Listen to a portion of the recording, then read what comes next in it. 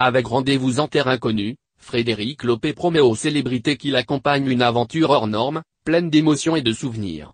Après Bruin au solo, Virginie Efira ou encore Mélanie Doutet, c'est au tour de Kev Adam de partir à l'aventure. L'humoriste de 26 ans a accompagné l'animateur de France Télévisions en Éthiopie à la rencontre d'une tribu de bergers de guerriers. Un séjour qu'il a très mal vécu, du moins les premiers jours. Ça s'est transformé en cauchemar. Le début de l'aventure a été une catastrophe pour lui. Il l'a très très mal vécu. Il a pleuré toute la première nuit, explique Frédéric Lopé sur France 5. Sur le plateau de C'est à vous, l'animateur va plus loin. Je me suis dit, c'est une erreur de casting, indique-t-il avant de justifier l'émotion de Kev Adam. Il sortait d'un tournage et il enchaînait avec l'émission. Je pense qu'il n'était pas préparé, il ne s'y attendait pas du tout, déclare-t-il, indiquant que son portable ne passait plus et ça l'a rendu dingue.